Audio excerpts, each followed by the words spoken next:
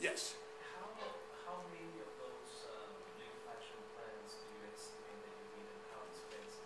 Well, it's, okay, it's a function of how quickly we can get the customers, okay? So it's a, the answer is a flexible answer. And, you know, the, you know, obviously, once we, like, as far, as far as the ability to get from the existing terminals, those are real easy deals, okay?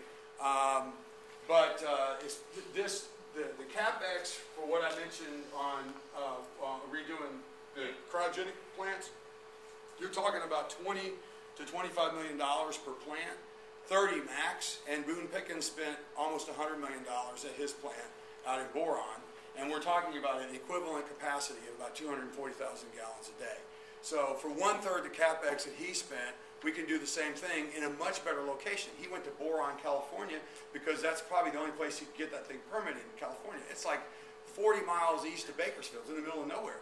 He has to drive LNG across the San Gabriel Mountains, is that what they call those mountains? Basically, from north of Los Angeles, he goes due south, across the mountains, all the way down to the Port of Long Beach and the Port of Los Angeles, where his biggest customers are, which are the drayage trucks. So he's got a 130 mile one way, so he's got a 260 mile round trip. Okay, well, this process, this one here, which I can't really talk about, uh, we're dealing with five different uh, opportunities in the LA basin, industrial facilities that already exist that are already permitted. Okay, so we won't have, you know, he's got to go 130 miles, we're right there. So, um, you know, uh, but the answer as to how many this will require, it's going to be a function of how fast we can bring the market on. But I will tell you this, uh, the opportunities, you know, the opportunities to do, to, to, to access the supply at the import terminals, well, those everybody knows about. Okay, the uh, these other opportunities, uh, just think about every place where you've got cryogenic gas plants or new gas plants developing, Eagleford Shale, Marcellus, uh, Bakken, up in Canada. You know, those opportunities are many.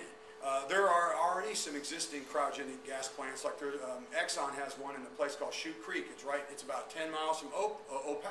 Jordan and I went out there. It's like, man, this is the middle of nowhere, you know? Oh, there it is. You can see it for like 20 miles.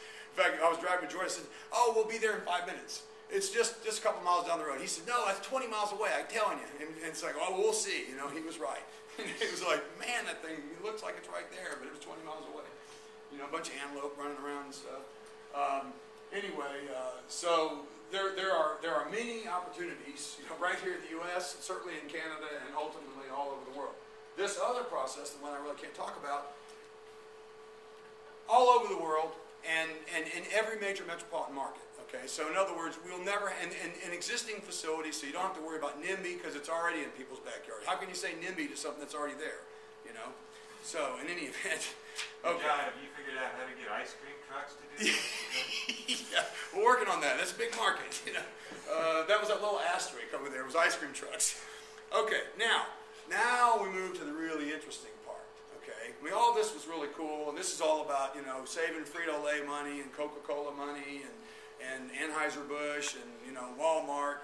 And if you believe it, if you're saving those guys money, it is going to save all of us money because you know the the cost of their production and delivery and logistics eventually will find its way on the, the grocery counter prices. So even helping the big guys, you're going to help us because it lowers their cost of production. So, but that's that doesn't interest people as much as, as you know, well, what about my wallet? What about my wallet right with me right now? How can you do, what can you do for that? So Jordan, let's go to the next slide. Well, I thought, pondered this long and hard.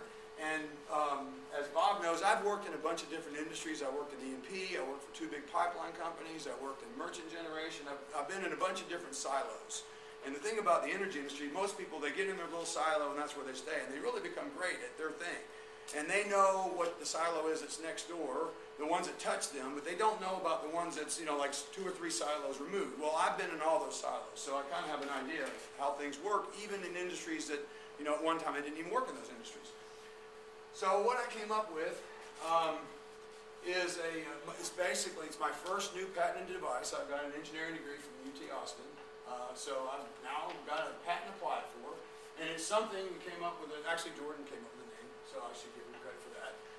It's called Geoff. So if you don't like it, it's his fault. Uh, the Geoff unit. Now, there, uh, there was years ago this little thing called the Phill unit, P-H-I-L. And what it was was a little appliance that, that you put on your in your wall in your garage, and it's plumbed to your internal natural gas plumbing. You know, if you're on an LDC, that you know that, that feeds your hot water heater and your clothes dryer and your stove and um, and your furnace. Okay, and all that little thing did was was fill your car up. Okay, and nothing else. Well, it's like well, that's not enough, and it was expensive. You know, and it, and it kind of broke down. It wasn't that reliable because it was it's you know it was almost like handmade. So essentially, like, well, what? Let's let's have more functionality. So what we what we what we have here is a, a much better quality micro compressor than the one, plus a buffer tank. Okay. All the people that have done these little compression units for home use, or even like for the post office, what they do is you plug your vehicle in, and it's like electric car. It's got to be there for six or eight hours if you want a full tank. You know, you can leave in you know with less than a full tank, but if you want a full tank, you know, you have to wait six or eight hours. And essentially, if you think about blowing up a balloon, when the balloon's completely flaccid, you can, you know, a lot goes in the first breath, but by the time that balloon is full, the, the, the, the fill rate is much less on the last breath than on the first. So, so these things start off at maybe two gallons an hour, and then that last, you know, that last hour, it's only 0.4. So it's, it's not a linear function, it's a nonlinear function, and that, that's a function of the pressure inside the tank in your car. Well, that's all well and good, but I said, well, shoot, if, if you're filling the tank up in your car when your car's at home, couldn't you fill another tank that's there all the time when you're not home? Sure, you could. And that way, when you come home, that tank's already full, and all you got to do is plug it in, and now you can fill your car in five minutes instead of eight hours. So that's a buffer tank. Okay. So essentially, you know, with this with this unit, you can you can you can use the slow fill unit, what we call the time fill unit. Like if you plug your car in at night, it's got a shut off valve. It automatically shuts off. You won't be able to drive off and you know pull the thing off the wall. Okay.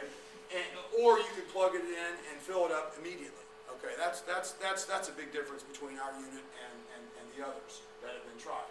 But the really big difference is that when that thing's not filling your car tank or your buffer tank, it's an available standby emergency generator and distributed generator.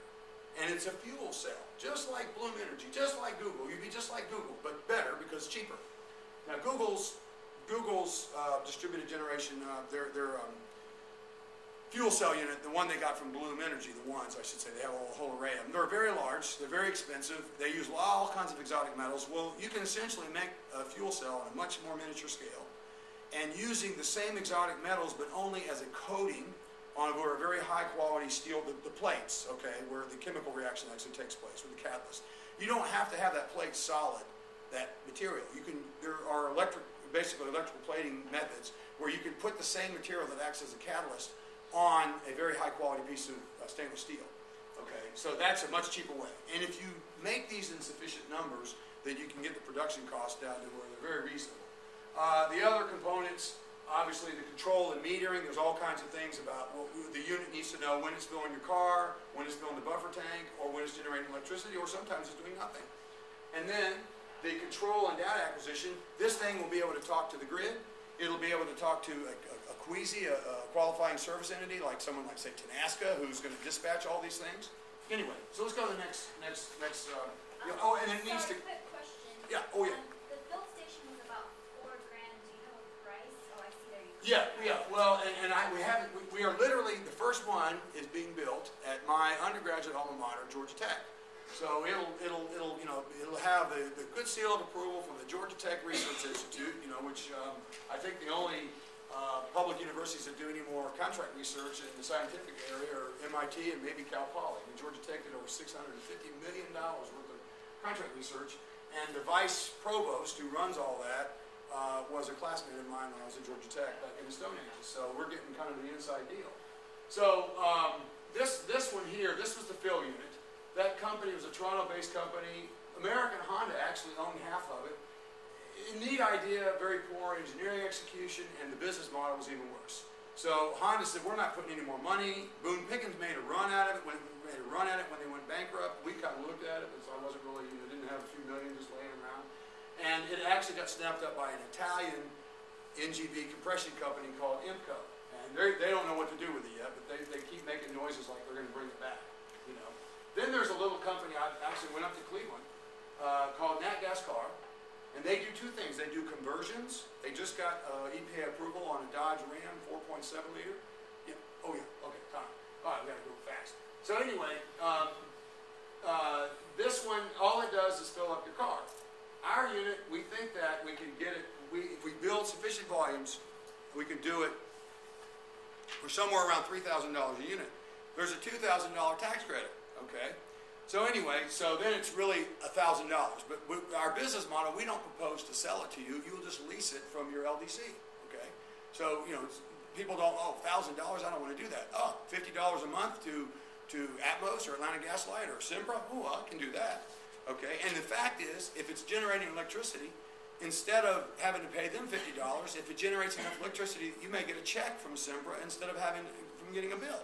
Because if the amount of money that it makes as a generation unit exceeds your monthly lease deal, then they'll just rebate you the difference or give you a credit on your gas bill. What's the cost per kilowatt? Uh, base, basic, well, I'm, I'm getting right to that. Let's go, because I, I gotta go quick, because I'm not, yeah, okay, I got five minutes. Uh, we'll get to that in just a minute. Let's go to the next slide, Jordan. Uh, well, actually, before you do, uh, I was just saying it can be used as a distributed generation unit. Imagine if you, if, if this thing's a five KW unit, ten thousand of these is equal to the same, is, is fifty megawatts. Ten thousand of these is equal to a, a, a single LM six thousand simple cycle. But it's better than an LM six thousand simple cycle, because an LM six thousand simple cycle is fifty miles from town, it's gotta go connect to the transmission grid. We are right in your house, if you are an ERCOT or PJM, a nodal market, you're gonna get the highest price, there's no transmission loss, because it's right at the point of consumption, okay?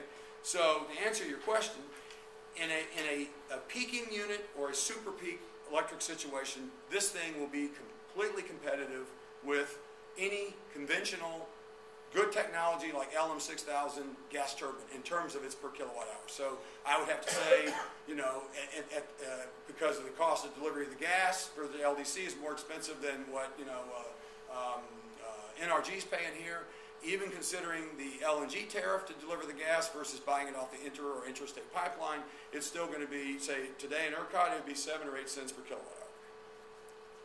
Maybe nine. Very competitive, okay? And, and, and the last time I looked, you couldn't fill your car up with an LM6000, so it's got all kinds of benefits. Uh, and most people can't afford to buy an LM6000. Um, we're saying an effective heat rate of about 10,000 BTU per kilowatt hour.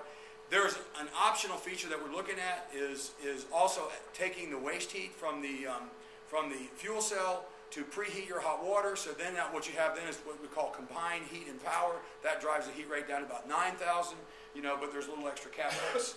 Okay, so uh, now, this is an important point. Everybody was talking about, you know, about the renewables and, you know, the wind doesn't blow when you want it to blow and the sun doesn't uh, shine necessarily when you need it to shine. Well, the Geoff units will, will tremendously augment renewables. And, and I believe that we'll be able to do more renewables with these Geoff units, which are in people's households, than having to build a bunch of backup, you know, um, large-scale industrial gas turbines. So uh, uh, I guess the, the, the jury's out on that, but we're certainly looking at maybe having General Electric make this for us. And so all the business that we're going to poach from them, as far as losing LM6000 orders, well, be making these. So you know, uh, and, and we'll be exporting these things all over the world, particularly to Japan, since they've got all this. They're, they're, they just lost 10, uh, 5% of their total national uh, generation capacity with this nuclear mess.